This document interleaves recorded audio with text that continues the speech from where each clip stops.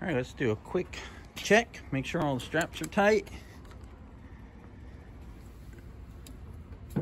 That one could use a little tightening. That's good.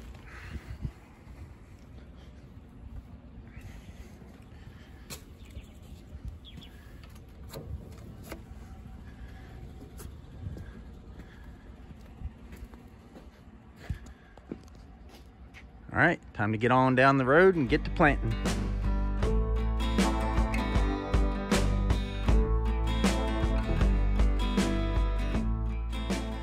Welcome to Piney Grove Hunt Lease Edition. Today we're out here on our 1200 acre hunt lease in Gulf County and we're going to put in some food plots. We got about uh, seven to nine acres that we normally put in plots and I think we're going to try and put in about uh, five or six. Uh, it's Monday, November 1st, uh, so we're hoping to get uh, see how much we get done today. We got uh, Monday and Tuesday off of work, but we got two days to get this done, so let's get to it. All right, Rob has arrived on scene with the Mahindra Might remember that truck. That's the one that was stuck with the line buggy. All right, good morning, folks. We're about to get started here, food plotting. We got Rob just rolled in. Um, like I mentioned as he rolled in, that uh, Nissan XD is a little cleaner than the last time you saw it on the line buggy. So that video should be up before this video. But we got to unload this Mahindra 1635, get it off the trailer, and then we've got to get the um, tiller off the back of my trailer back here. And then get my ATV off and get the uh, spreader. The spreader I'm going to use today is a Cabela's 2.0 ATV spreader. And uh, we've we've tried different ones out there, Fimco and stuff like that. But the Cabela's ATV one is really, really good. Um, 2.0 had it a couple years and uh, it just works really well high capacity and also has a lid on it so when you're going over bumps you don't uh, you don't knock your seat all over the ground but we're gonna get set up here get these things hooked up and then talk about uh, how we're gonna get these food pots planted all right folks there's always something we tried to start the Mahindra and uh, we couldn't get it started but, but what we found out we called the Mahindra dealer and uh, he said make sure the PTO switch isn't engaged, which I had checked that, but it also has, has two PTO switches, a switch and a lever. And uh, basically by trailering it, it had put that, you know, kind of jostled that switch around and uh, made it so the tractor wouldn't start. So we were able to uh, wiggle that handle, that PTO handle, and get the tractor started. So we're back in business.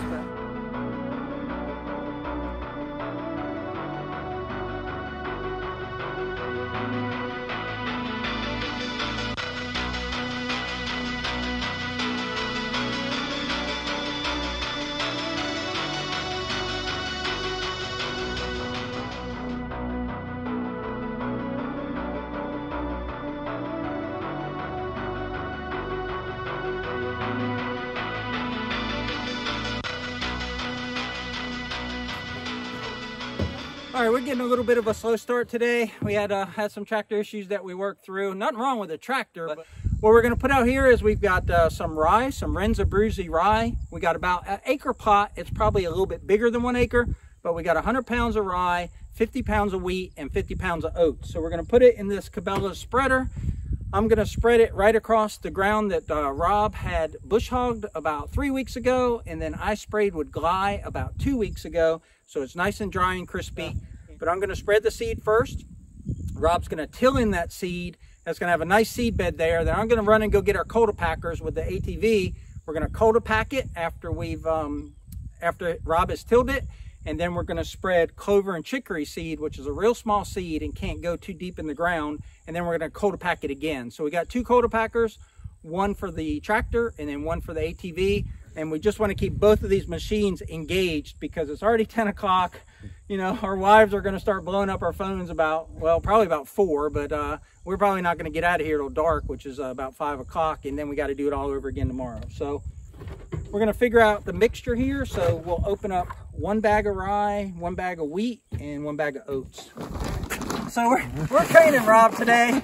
He, he's from northern Florida and it's country up there, but uh, he's no farmer, that's for sure. But uh, so on your hmm. tab on a, on a bag, it's always as you're facing the bag on the right side, you start from the right and you pull the tab and then you just pull the string. and it zips it like a zip tie. So you're gonna have to cut the wheat and cut the oats. And what we wanna do is we'll pour together and we'll fill this bucket up and then fill the spreader up. So the biggest problem you have with this mixture is the oats have a long hull on them and they tend to get caught up in the spreader. And then you don't spread it evenly. So we're gonna we're gonna mix the oats and the wheat all at once into the bucket and then put them into the spreader. Mm-hmm. All right, so you pour a little, I'll pour a little, and then I'll grab the oats.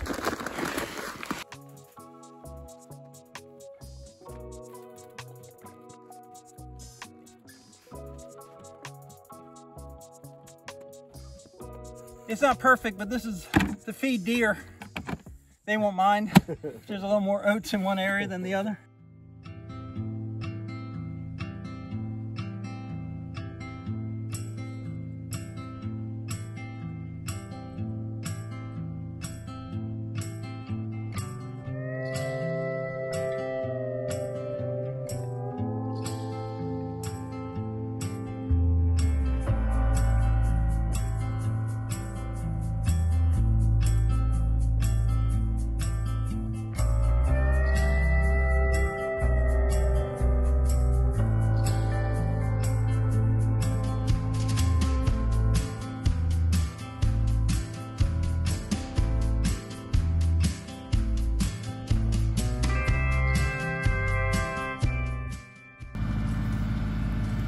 Okay, we just had to clear the tiller because it was bound up a little bit on one side, probably because he went along that woods line. But we cut off the uh, the wrappings around the tiller. We're back in business. So just like I thought when I first started, the oats actually had bound up and wasn't allowing at least one of the holes in the in the bottom of the spreader to flow. But once I got that hole opened up, it was fine. So um, just got to make sure I don't put oats in the bottom.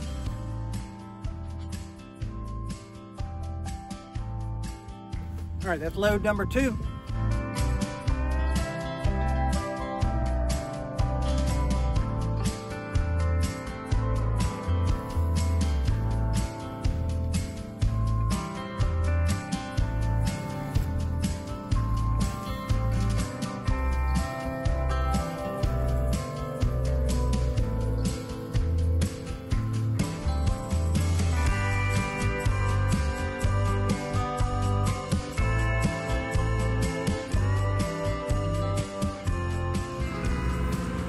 Takes a minute to get going, but we kind of got our system down now. Rob's tilling, got his speed figured out. He's away from the pine trees. When he was up against the pine trees, he was kind of hitting a few roots with the pine with the uh, tiller. But uh, as he gets farther away, the pot's been tilled more, and uh, it's just more like a, a farmer's field. You, uh, you hear the Mahindra just steadily going along. We've cut around the bearings a couple times it's not too bad for all the thatch that's there. It's mainly the onions. There's some onions at the end and they're the ones that are wrapping around the tiller. But uh, I've spread out just about the four bags that he had. The oats were a problem. They kept binding up in the spreader and I had to have to get out and stick my finger up into the, uh, stick my fingers up into the hole there and, and kind of clean them out and get the oats to flow. So it's imperative that we mix it going forward and uh, get it really mixed well or else I'm gonna have that problem with all the pots. Normally I'm not the guy that's spreading. Normally I'm the guy in the tractor that's tilling. So, um, and so I have limited use with this spreader. We, have been using it for years or using a spreader like this for years. But uh, like I said, normally it's not me that's on the ATV. So uh, learning, a little bit of learning curve, but uh, we'll get that figured out. But the key is we've got to mix that seed before we actually pour it in the spreader. Because if you get say two or three inches of oats then the oats are going to bind up and then you're running along and you're just spitting out a couple seeds whereas I should be able to do this pot, you know one or two passes but it's taking me like six passes because uh, the, the spreader keeps getting clogged and I'm getting minimal seed flow. So that's the update. Uh, almost got this well this pot is seeded. We're probably halfway tilled. Um, it's gonna be a long day but uh, we'll get this figured out and we'll, we'll be a little bit smarter and a little bit faster as we go. Okay, I came over to our equipment yard here and grabbing, and I'm grabbing the ATV Cultipacker. I've turned it upside down and I threw about 10 shots of grease into each pillow block bearing on the end. We designed this Cultipacker. Those uh, wheels are from an old farm Cultipacker and uh, so is the axle, but the pillow blocks and all the other tubing and everything we purchased and we um, we had someone weld it up for us. So this is a homemade thing, but it's a really, really good piece of equipment for food plotting. Uh, it'll pack that soil that's already there that Rob is tilling and push those um, grain seeds in and pack them nice and tight and it'll allow a nice firm bed to put the clover and the chicory seed and then we'll pack it again after that.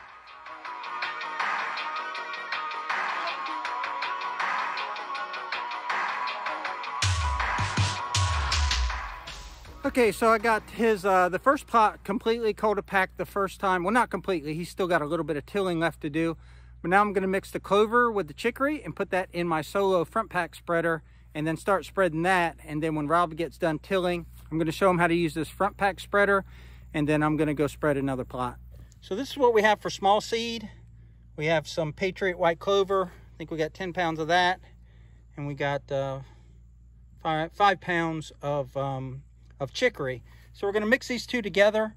The chicory kind of acts like the oats do in the big spreader and kind of binds up the spreader. So we'll mix this together and you just got to be constantly monitoring the output of the solo spreader to make sure that uh, you have seed coming off these wheels because um, this little flow gate down in there, hopefully you can see that, that flow gate down in there will get um, clogged with the chicory seed. Okay, we got a nice mix of clover and chicory. The clover is the little bluish seed and the chicory is the more brownish seed. So it's a good mixture there. Got the spreader full. We'll have plenty for this one acre. All right, folks, quick update on the day. It's about noon, probably about 1230. It took us about two and a half hours to get this plot completely done. That seed thrown on the ground and then tilled in. And then I cultipacked it once with the ATV. Then I spread the small seed, the clover and the chicory. Then I cultipacked it again. But uh, yeah, she's all done. It was about an acre. Uh, we're on to the next plot. Rob's already waiting. I got to get some seed spread so he can till it in. Okay, we're on plot number two, and I got here, and Rob had already tilled like almost as much as is tilled now, but I hadn't put any seed on the ground yet. And uh, when I ran up to him, he's like, man, I knew I forgot something. I uh, got the seed put on the ground where he had tilled, and I put the rest out on this plot here. So this plot is seeded. He's tilling. This is working up real good. Um, this pot is a little bit drier, a little bit sandier, and that thatch is working up real good. Real, real nice uh, seed bed. Uh, there's two more pots in this area. I'm gonna go spread them with seed, keep Rob busy on the tiller, and then I'll come back and cold pack this, right? So it's the same process. So it's seed on the ground, then till, then cold pack, then small seed on the ground, then cold pack again. So that's where we're at, pot number two. Uh, there's three pots in this area, but this is the biggest one.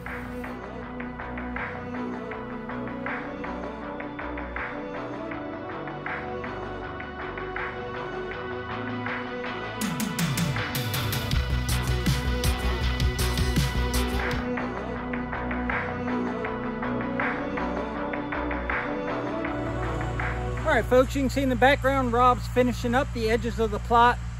I got the clover and chicory seed ready for the hand spreader. I've already packed this once, so I'm gonna spread out that little seed and run back over it real quick with the packer, and then this plot will be done.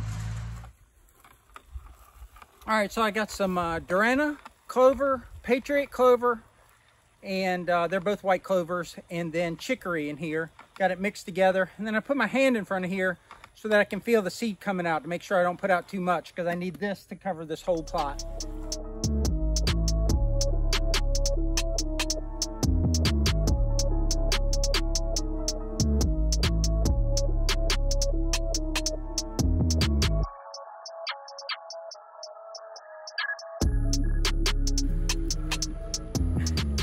I'm definitely getting my steps in today. I'm gonna go ahead and turn this camera off. You don't need to see me walking back and forth this plot. But that's how you do it after you coat a pack and lay out this little seed. Little tiny clover, little tiny chicory seed. You can't really put it in a big spreader behind the ATV.